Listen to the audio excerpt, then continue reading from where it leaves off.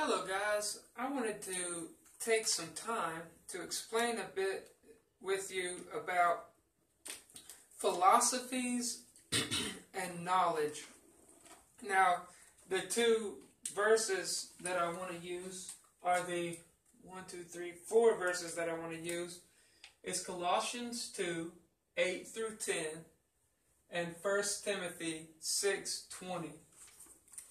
So if you'll open with me to Colossians 2, beginning in verse 8, he says, Beware lest any man spoil you through philosophy and vain deceit, after the tradition of men, after the rudiments of the world, and not after Christ.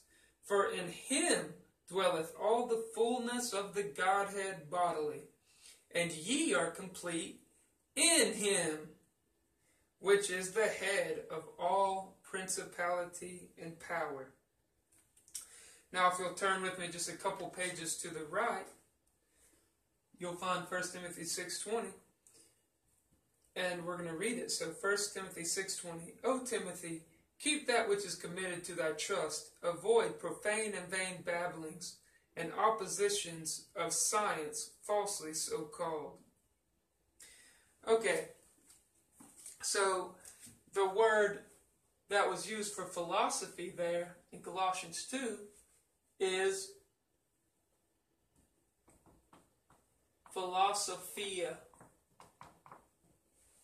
All right, and just keep 1 Timothy 6.20 in mind because we're going to look at the word gnosis, which is knowledge. Knowledge.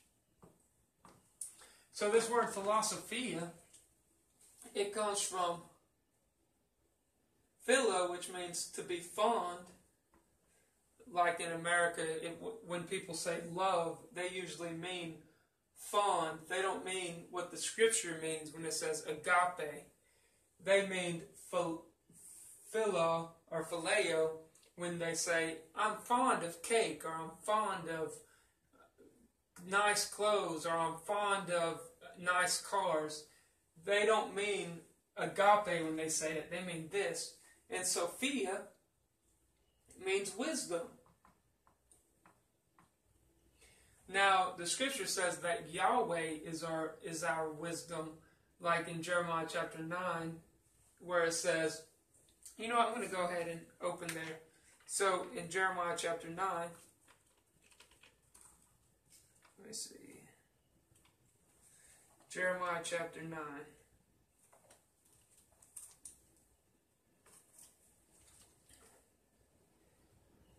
And beginning in verse 23. So Jeremiah 9, verse 23.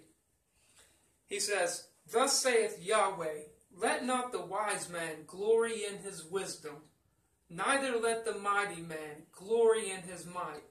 Let not the rich man glory in his riches, but let him that glorieth glory in this, that he understandeth and knoweth me, that I am Yahweh, which exerciseth that exercise loving kindness, judgment, and righteousness. So there you go. That is true wisdom, is knowing Yahweh. And the way that we have knowledge and experience of of preaching His word, like it says in Hebrews, it says that by reason of age has his senses exercised to discern good and evil. So, Sophia, in the world's eyes, the goddess of wisdom, is a picture of Eve. Because Eve went and took of the tree because the serpent said that they could do that, and then they would be able to choose good and evil for themselves, is the idea. And that's what it meant, meant when it says it was a tree to be desired to make one wise. And that's what, that's exactly what John is quoting in First John when he says, the pride of life.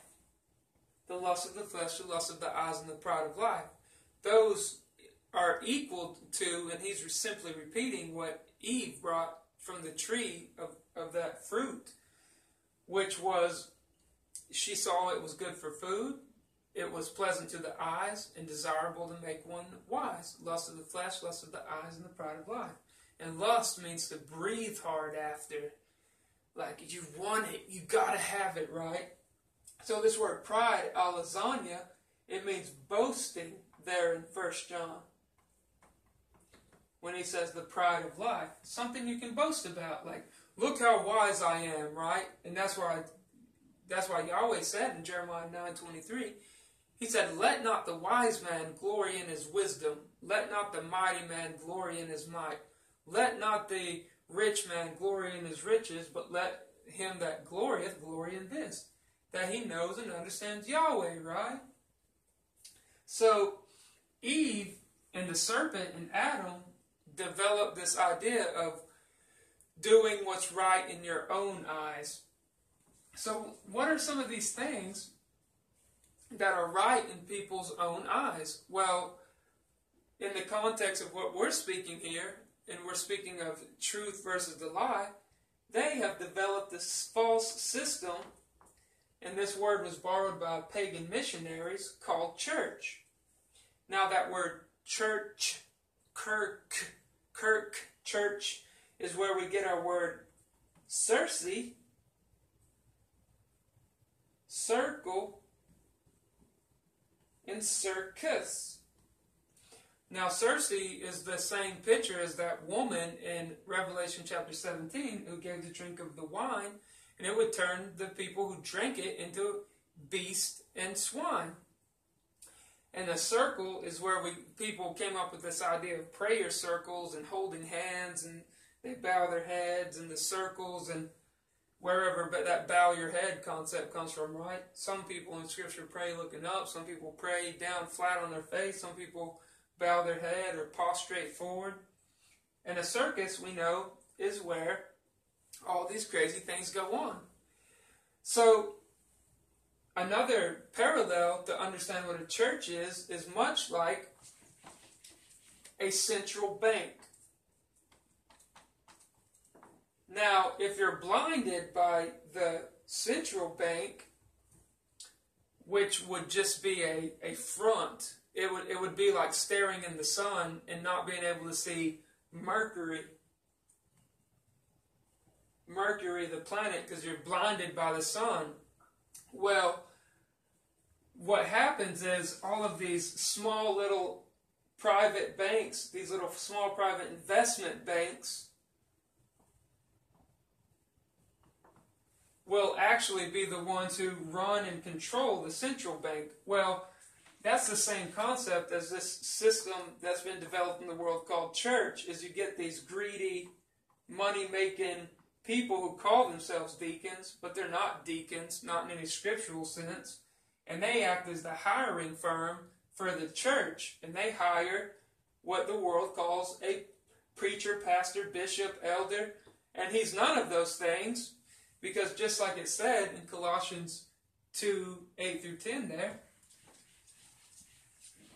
they're spoiled through philosophies. And we're going to go over some of those philosophies. That's why I brought this verse out.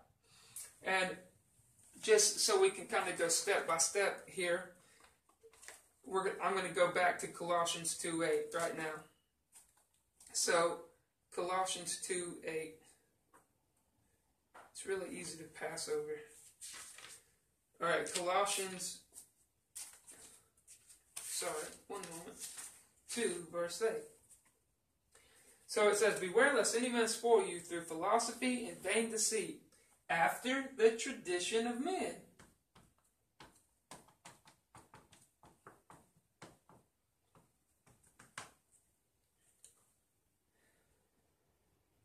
The rudiments of the world, these arrangements of mankind and not after Christ. So these guys in these churches aren't after Christ. They've developed their own system. Now, we know from Matthew chapter 18, verse 20, that where two or three gather in his name, in Christ's name, there he is in the midst of them. Now, this later development, and we know it came much later, because in the beginning, and for example, in Exodus chapter 20, I believe it is, he says that it was the he Yahweh says that they are speaking of Israel, they are a kingdom of priests.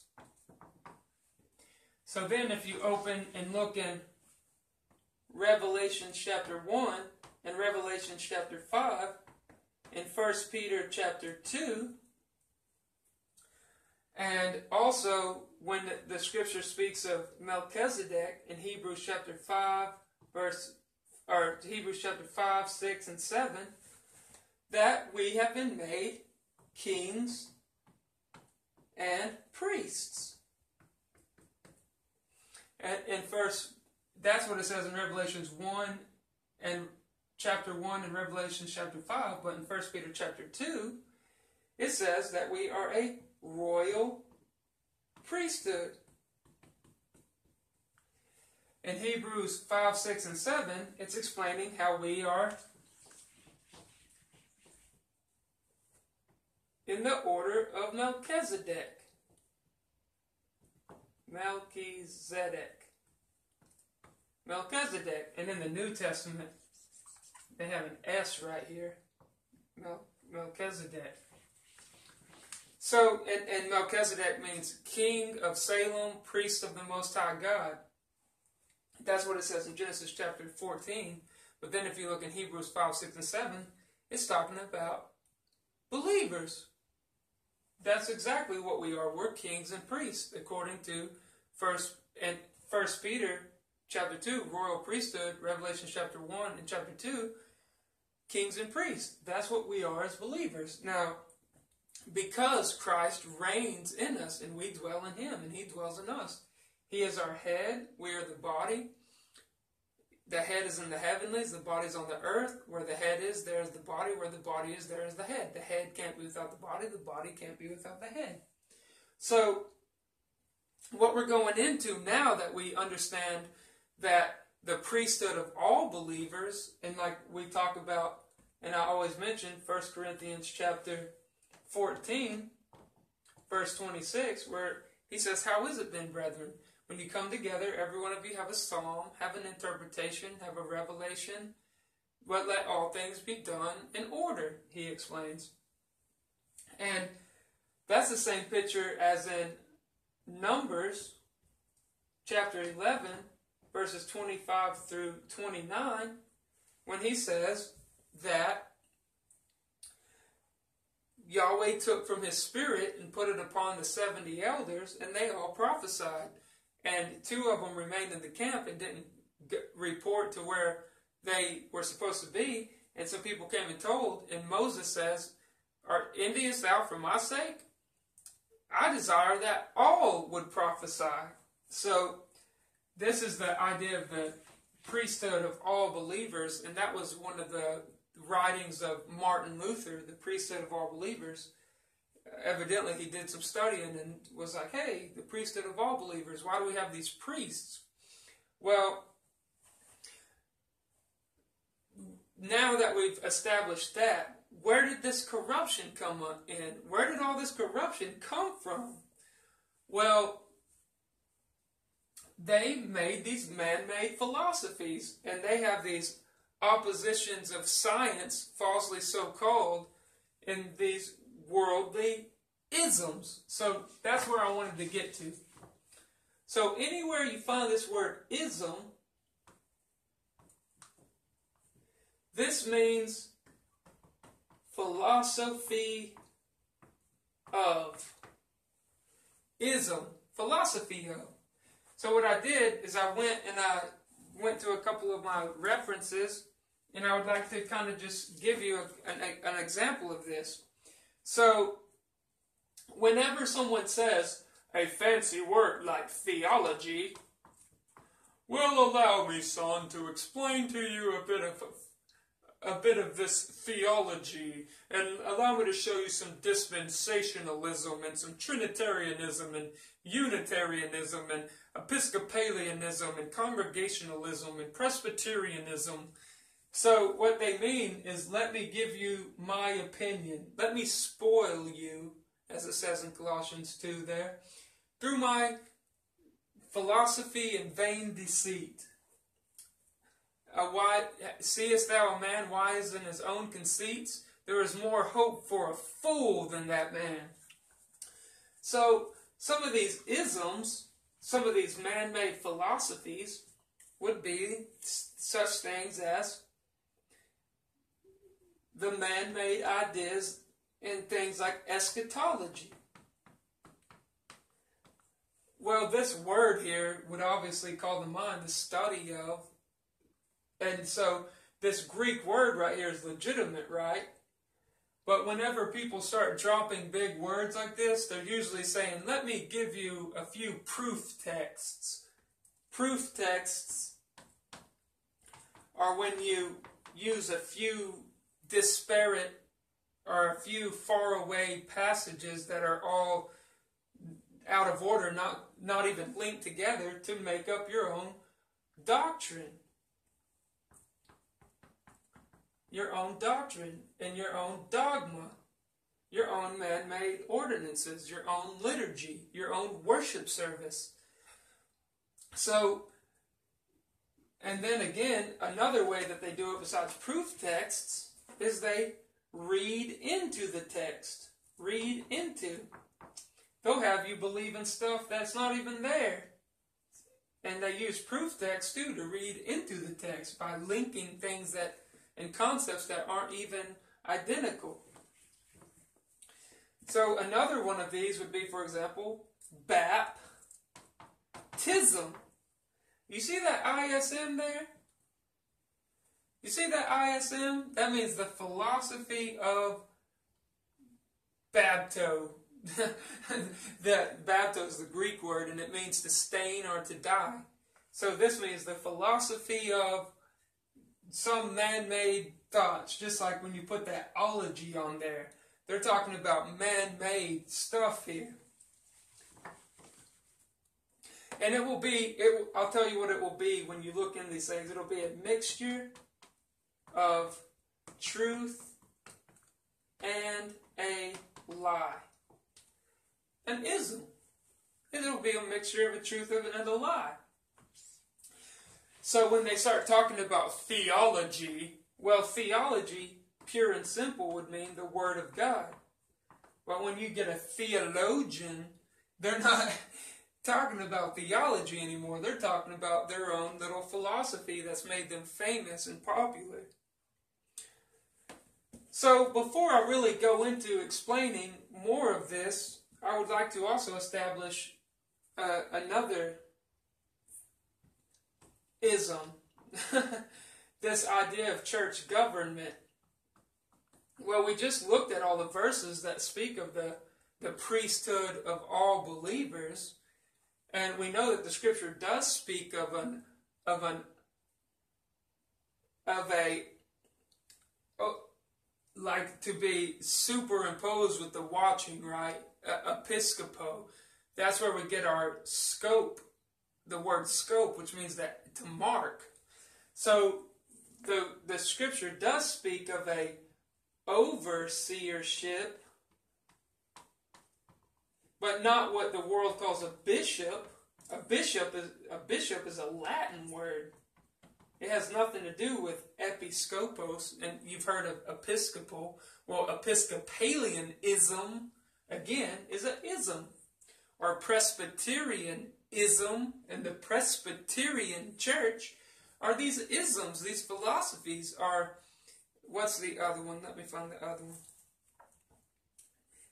The other one is,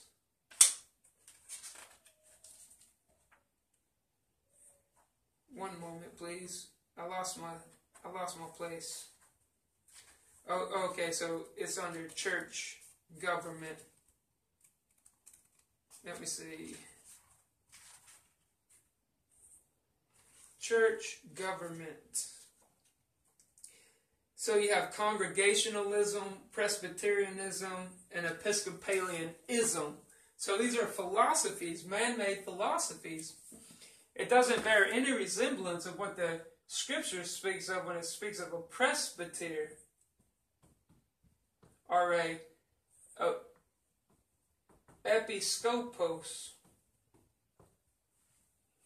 Just no no resemblance whatsoever. There is nothing in the church, or there's nothing in Scripture that resembles this thing in the world now called church government.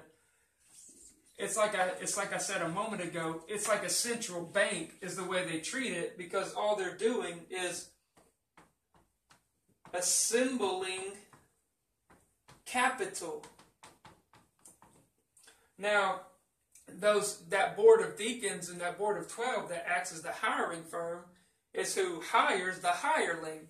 And as we've shown in Micah 3:11, it says they judge for reward. They the priests teach for hire and the and they divine for money. So it's that's what they're doing. They're assembling capital. Now a lot of people might think that capitalism is a new thing, but that goes all the way back to Adam and Eve when they said, let us, or they said, we can be gods, right? So they were assembling fortunes there by wanting the fame and the recognition as to think that they could be their own gods. And the lust of the flesh, the lust of the eyes, and the pride of life is exactly what that is. The, to want more, to breathe hard after, to do anything for an end. So, assembling capital. And just a, another note before I go into more of this again government, business, school, and church are made up of people. Well, what kind of people? That well, the scriptures tell us wicked people. Because this lust of the flesh, lust of the eyes, and the pride of life, even believers struggle with these things. Like, we want more, don't we? The scripture says, pleonectes, a covetous man is an idolater. And that's in Ephesians 3, verse 5, and Colossians 5, verse 5. And it might be vice versa. It might be Ephesians 5, 5, and Colossians 3, 5. So forgive me if I got this twisted. But a covetous man is an idolater, and covetous means to want more. And idolatry means to serve what you put into your eyes and ears. And that's found in Ecclesiastes where it says that eye is not satisfied with seeing, the ear is not satisfied with hearing. All things are full of labor. So we labor for the things that we want, like cars, women, houses. And these government businesses, schools, and churches are ran on these principles of assimilating fortunes, capital, profit. That the lust of the flesh, the lust of the eyes, and the pride of life. They they have this show that they've set up called the church, and that's just like going to a an opera, right? You go, you sit down, you watch the show, you pay, and you all go home. Well, that's nothing like what the scripture speaks of, like in Romans chapter 12, 1 Corinthians chapter 12, and Ephesians 4, when it speaks of us being of members in the body of Christ. Members. Not church members, not a membership in a church, but an arm and a leg and an eye and a nose and a head. And it says Christ is our head and we are the body. So when all of these philosophies began to get started, from zero to about 100 AD is when you see the scriptures that you're reading. But then when the real corruption set in was from 100 to 300. So the second century and the third century. So, yes, so after, so the second century, what we'll say 101, or we'll say 101 here. So the second century to 200, and then the third century to 300 AD is when the corruption began to set in. Well, why? Well, because they forsook Scripture or the writings of the apostles. They forsook the writings. And the scripture speaks of more apostles than just the twelve. That's another man made doctrine. Who made up that doctrine? Well, that's what we're going to study. That's what we're going into. Cyprian. It says Cyprian gave the earliest formulation of the doctrines of apostolic succession. And that's what Constantine said, the one who started the Roman Catholic Church. Constantine said, I'm the next apostle. that's funny. And the primacy of honor of the Roman bishop in the church. So, Cyprian came up with this concept of apostolic succession, and the Roman bishop primacy. Your Highness, let me bow to you, my high, Your Highness, Pope, right? So Cyprian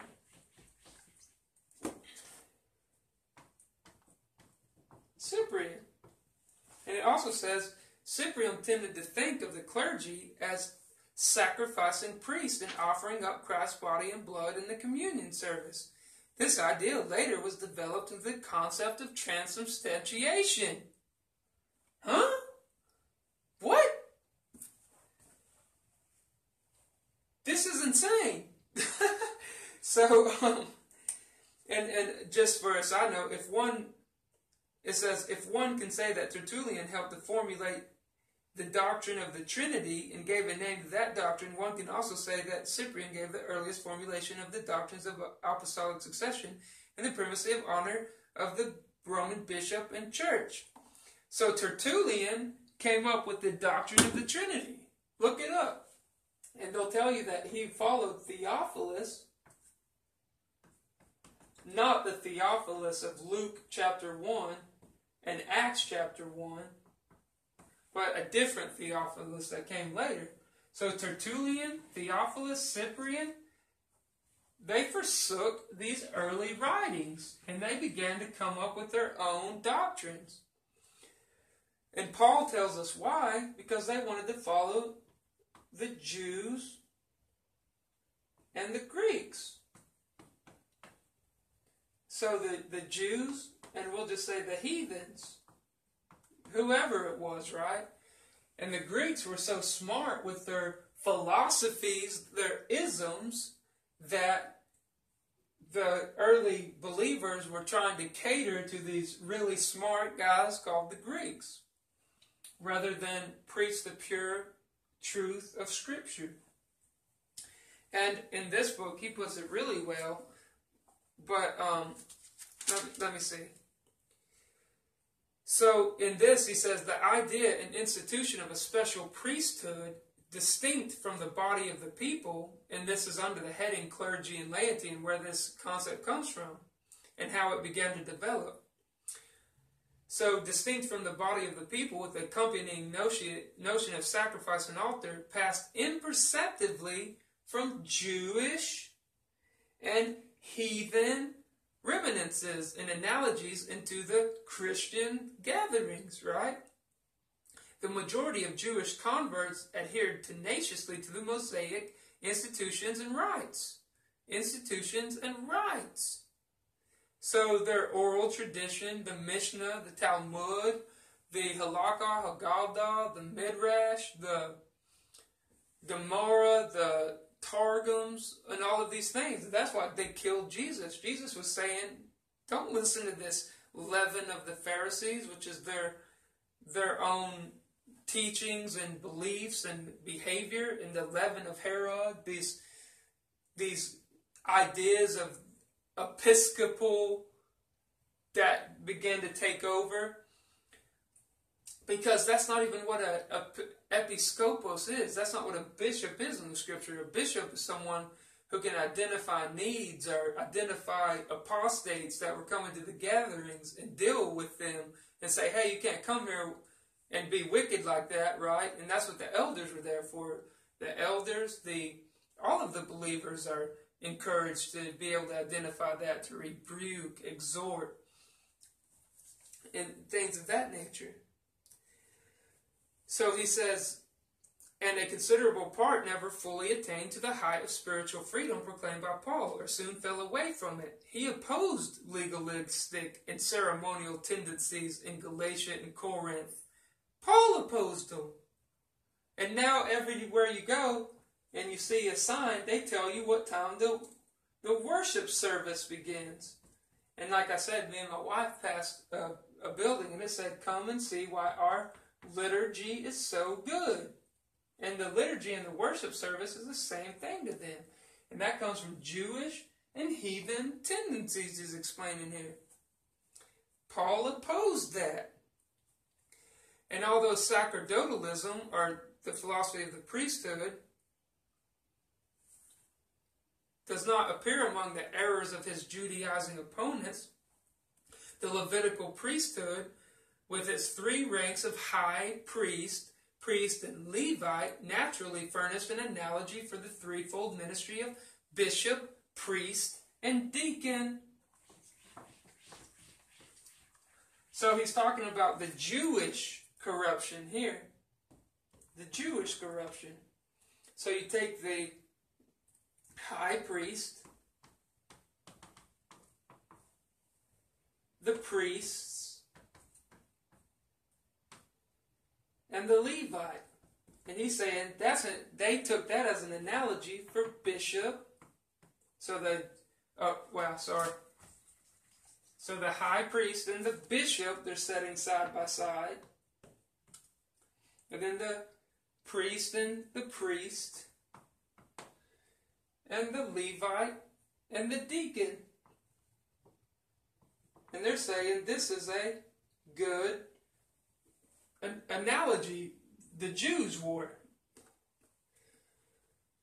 and came to be regarded as typical of it. It infested the church. Still less could the Gentile Christians as a body at once emancipate themselves from their traditional notions of priesthood, altar, and sacrifice. So this was the Jewish one right here, their analogies of this. But then the, the heathen's analogy of this same thing would come over here would be priesthood, altar, uh, altar, and sacrifice. So you have the heathens here and the, the Jews here. So heathen, Jews, and then the true believers. And they're trying to mix all this together. And this is why I'm always telling y'all about syncretism syncretism, and ecumenism. Because they just mixed all these things together into this circus, this circle called church. and Circe because they're transformed when you go into there into swine and strange beasts. So then he goes on to say, on which their former religion was based, speaking of the, the heathens. The Gentiles, the heathens, whether we regard the change as an apostasy from a higher position attained or as a reaction of old ideas never fully abandoned, the change is undeniable and can be traced to the second century. Isn't that what we said a moment ago? 100 or 101 to 200 is the second century. 201 to 300 would be the third century, right? The church could not long occupy the ideal height of the apostolic age, and as the Pentecostal illumination passed away with the death of the apostles, the old reminiscences began to reassert themselves. And then I really like this footnote here. He says, Renan, looking at the gradual development of the hierarchy out of the primitive democracy, from his secular point of view, this guy's not even a Christian, and he acknowledges this, calls it the most profound transformation in history and a triple abdication. First, the club, the congregation, committing its power to the bureau, to the bureau or the committee, the college of presbyters, then the bureau to its president, the bishop, who could say,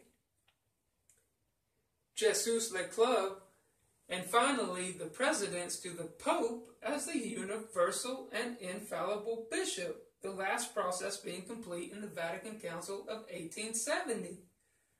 Wow, that's profound. So it just shows you how they just, every, the priesthood of all believers gave it to the Bureau, then the Bureau gave it to the president of the Bureau, then the Bureau gave it to the the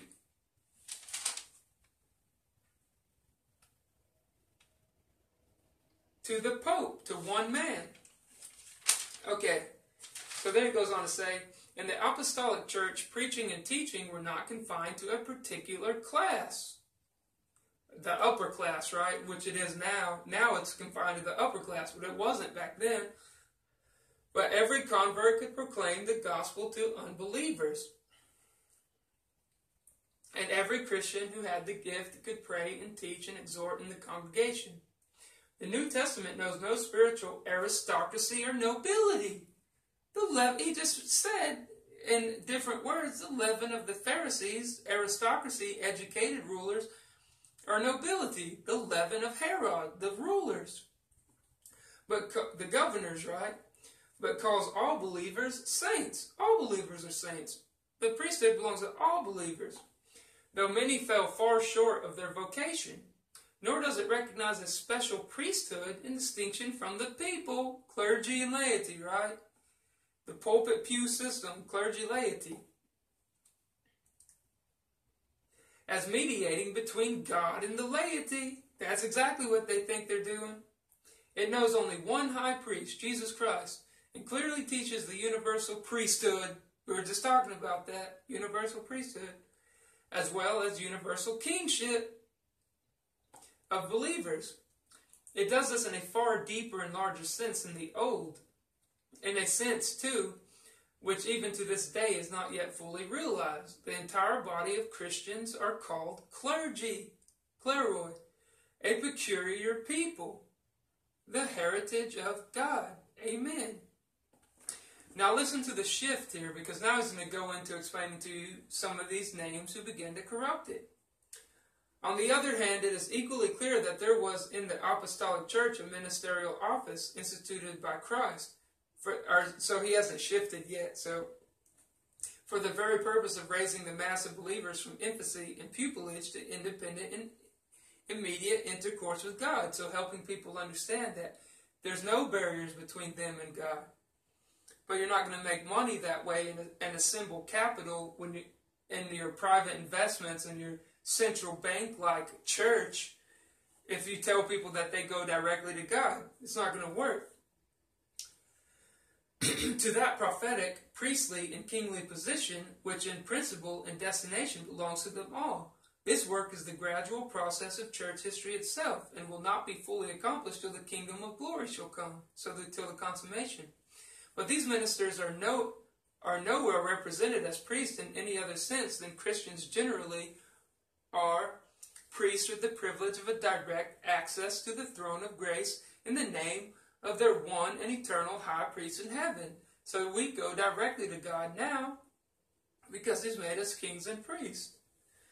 Even in the pastoral epistles, which present the most advanced stage of ecclesiastical organization in the apostolic period, while the teaching, ruling, and pastoral functions of the presbyter bishops are fully discussed, nothing is said about a sacerdotal function, a priest function. Sacerdotal means priest. The Apocalypse, which was written still later, emphatically teaches the universal priesthood and kingship of believers. Revelation chapter 1, Revelation chapter 5, kings and priests. The apostles themselves never claim or exercise a special priesthood. Amen. That's amazing. Apostle, uh, or uh, sorry, Paul in First Corinthians is saying like, we're just your fellow helpers. We're working with you. We work together with you. Because they were already starting to elevate people because they were saying, one is saying, I'm baptized by Paul, one saying, I'm baptized by Apollo, one saying, I'm baptized by Cephas, Peter, right? And they say, he says, who is Paul? Who is Apollo but fellow laborers? I planted the seed. Apollos watered the seed, but God gives the increase. He's leveling himself. He's humbling himself. That's what we're supposed to do. Be humble. Not play dress up and wear a nice ring, like James says, like and show partiality, Paul says, not to be partial. And Jesus says that those who wear the the gorgeous clothing and the soft clothing are in kings' houses and in kings' homes. We're not supposed to behave that way. We're not supposed to play dress up and go and hang out with the aristocrats down at the local church where the nobles and them come together to assimilate capital for themselves. That's just insane. The sacrifice which all Christians are exhorted to offer in the sacrifice of their is the sacrifice of their person and property to the Lord, and the spiritual sacrifice of thanksgiving and praise. Amen. In one passage, a Christian altar is spoken of in distinction from the Jewish altar of literal and daily sacrifices. But this altar is the cross on which Christ offered himself once and forever for the sins of the world. And that's why we're supposed to bear our cross.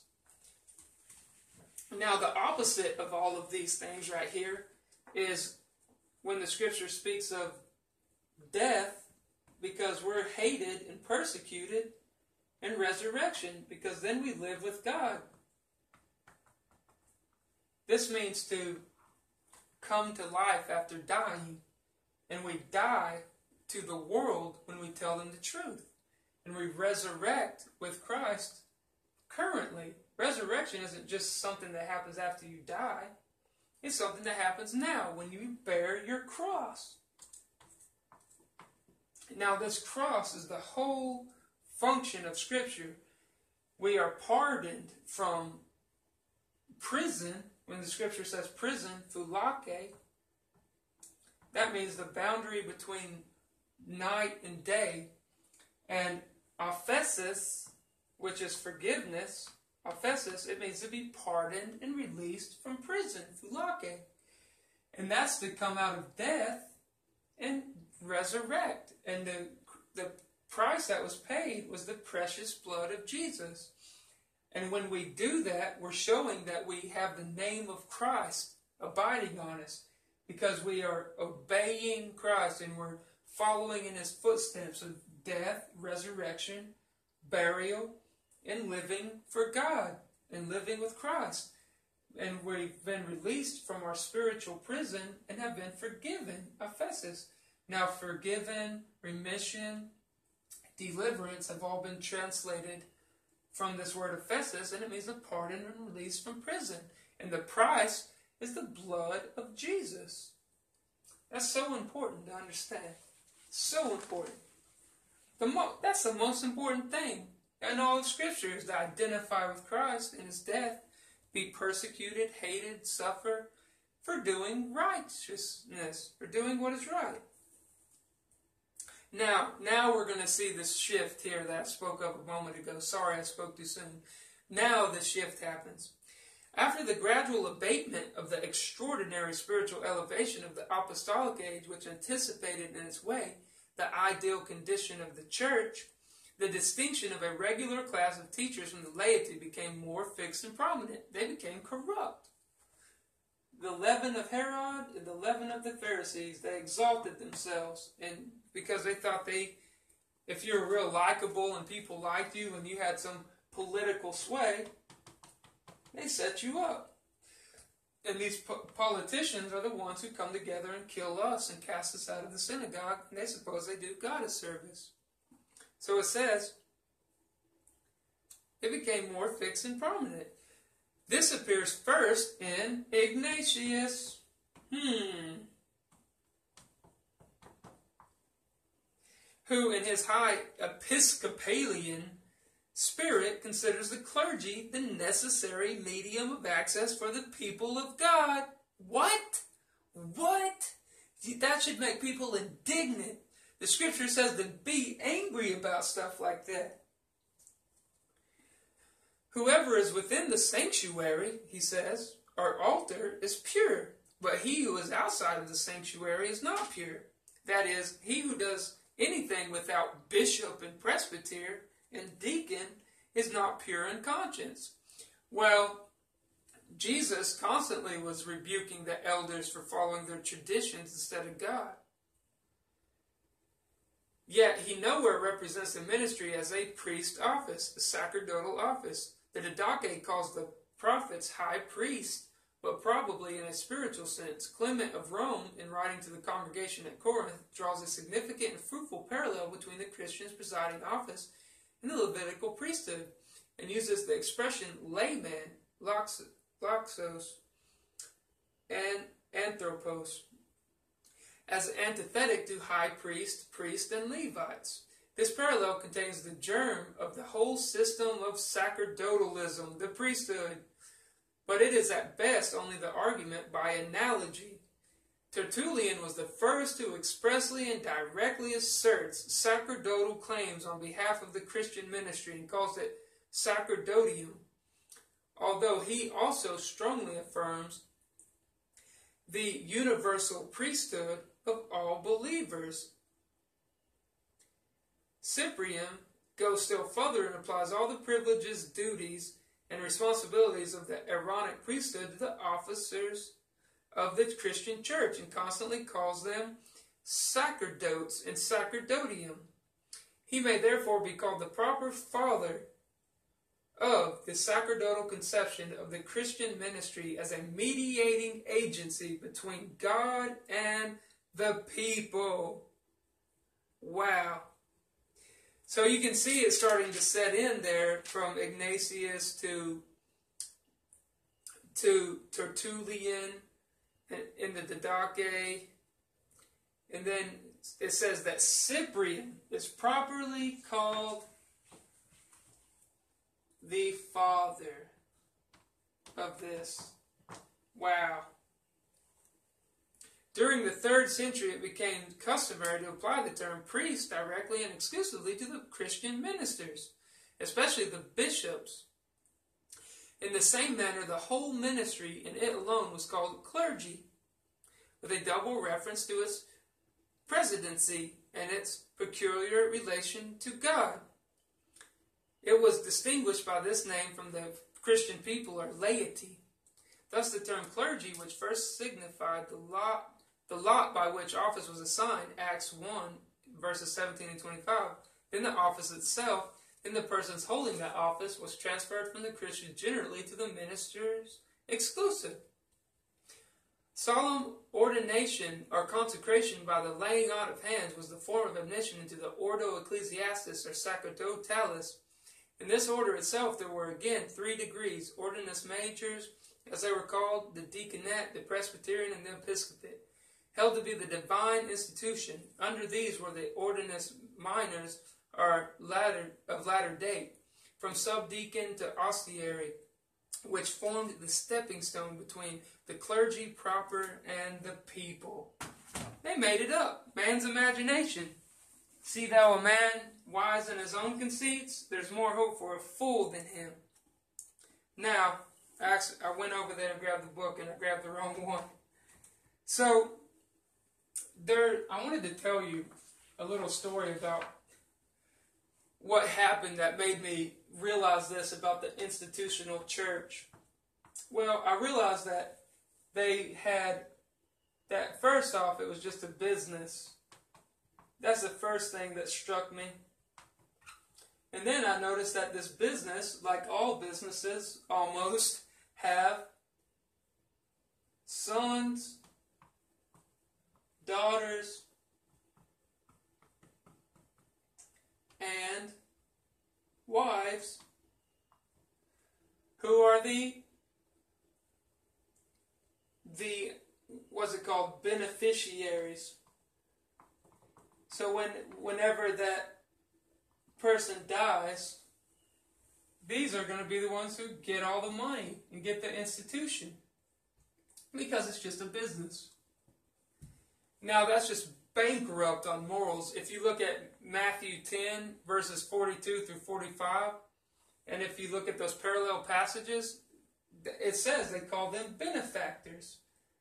The the ones who are the the ones who exercise authority and exercise lordship. And and Peter says not to exercise lordship in First Peter, and he says not to meddle in other people's affairs, allos episkopos, which is that same word for an episcopal or a bishop, and it says allos in front of it, another. You're not bishoping another's affairs when they're a believer. So you're just marking people who are evil or wicked, or you try to help people, and you're looking out to help people, right? And a pres you, you might be a presbyter, but that's or that's what they the scripture calls an elder, but that's going to be if you're obeying God, not if you're involved in some church and you're doing a bunch of you're there just as a business associate. So that's what I began to learn here. It's just a business. And then when whenever that person they call pastor, which is the president, right? He's the he's the CEO. And when he dies, the son or the daughter or the wife is going to become the new CEO and organize how the business is going to be ran. And that's why I compared it to a bank. You know, a bank is just a business, but that's why you have government, business, school, and church, and those are all ran by people, and people are wicked. So, and I'm including myself in that. That's one of the things that the scriptures always say. This is this is how people run the show, right? They always run the show as though they are without fault. Even Paul said, oh, oh, wretched man that I am, because he knew that the members of this flesh are corrupt. When it sees things it likes, it wants it. When it hears things it likes, it wants it and it's proud. The flesh is. But with our mind, we serve God and we focus our mind on God and pray to God, lead me not into temptation, right? Don't let me fall into these sins. Like when, when Jesus said, if you even look at a woman to lust after her, you've committed adultery already. Wow. Wow. That is a stunning thing to say. And, you know, we pray to God and we say, God, please humble me. Like, crush this flesh in me that wants to do all these bad things and wants to exalt itself.